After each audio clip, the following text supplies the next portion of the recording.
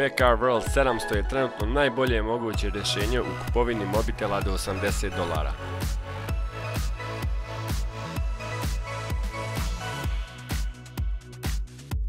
Što god da kažem u ovom videu, imajte na umu samo cijenu mobitela, jer zaista svojim prednostima u ovom cjenovnom rangu prekriva sve svoje nedostatke kojih ima, iako su oni zanemarivi.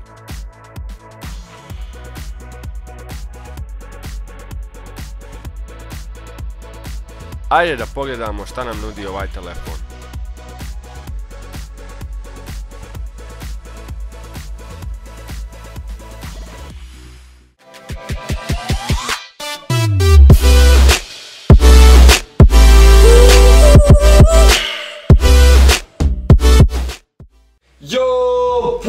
ADC Brothers, dobrošli u još jedan unboxing review video sa Edom. Evo ga ljudi, unboxing review video nakon već dugo vremena. Nisam htio da iskorištavam vašu pažnju i gledanost ranije, iako sam stvarno puno stvari dobio od sponzora, ali realno nisam ranije imao vremena da snimim normalne gameplay epizode, tako da sam odlučio da zapostavim malo unboxing review video. Tako da sad smo se vratili u full, tako da možemo opet da snimamo nešto slično.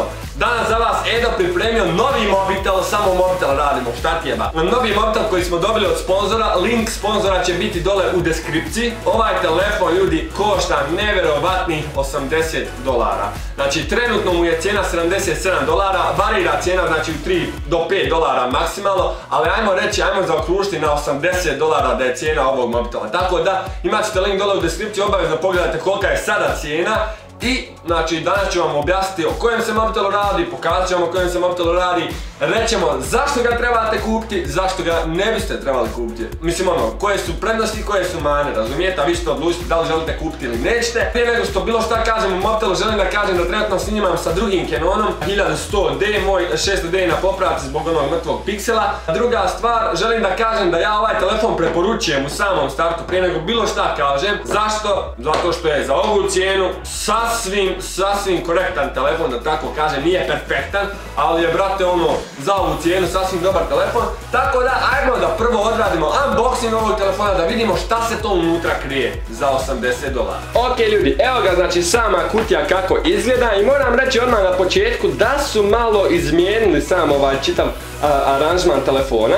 Prvo, znači, kutija je drugačija, pošto sam, ovo mi je treći ovaj VK World, prodao sam do sad dva i ovo mi je treći, stvarno ovi telefoni idu koludi. Prethodne dvije kutije su bile crne, onako kock, mislim i ovaj kockasta, one su bile onako malo duguljaste, ova je malo drugačija, ali ništa specijalno, samo malo onako ono drugačija kutija i to je to. Ovdje imamo udnu neke specifikacije o, kojima ćemo nešto kasnije malo govoriti i to je to, ništa specijalno kutija, ali u biti lijepo izgleda. Tako da, ajde da otvorimo da vidimo šta to mi nalazimo unutra. Ovdje je već zalijepljeno nešto.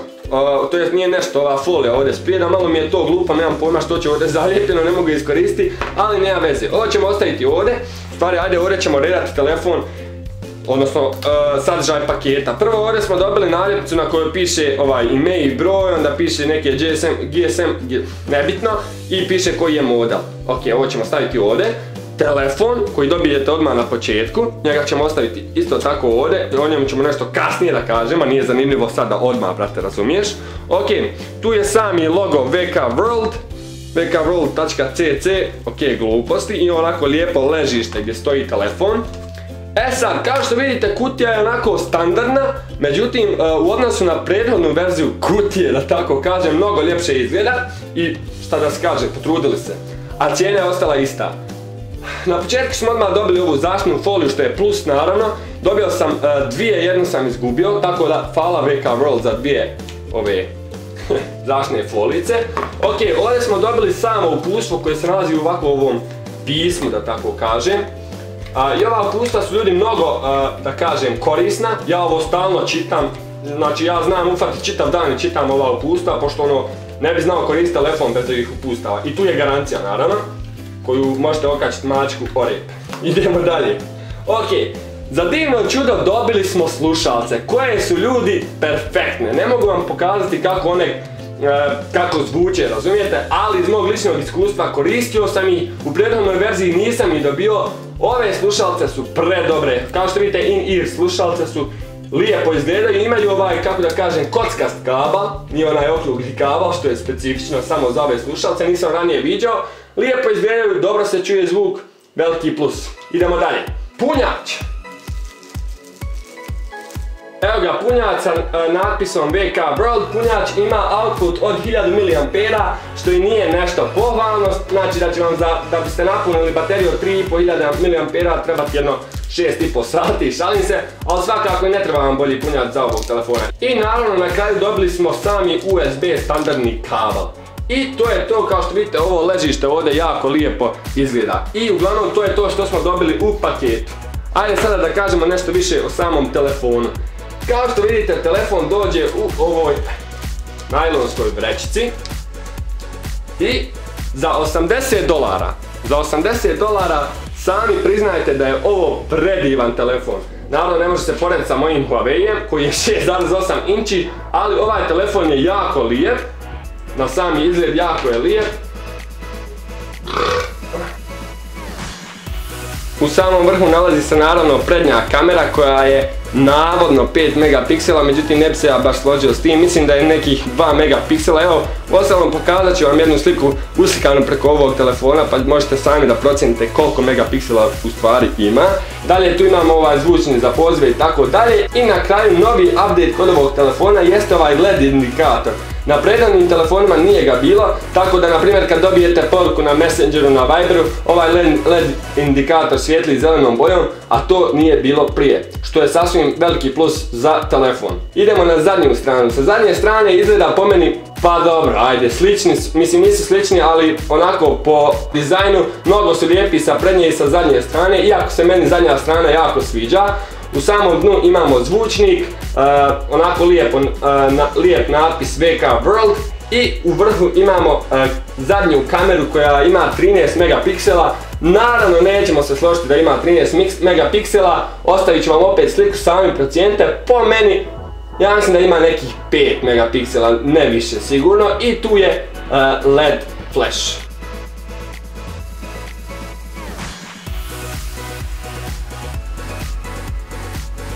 Ok, evo ga kako izgleda telefon kada se upali, kao što vidite odmah nas dočeka ova neka velika ajkula hoće da nas ujede.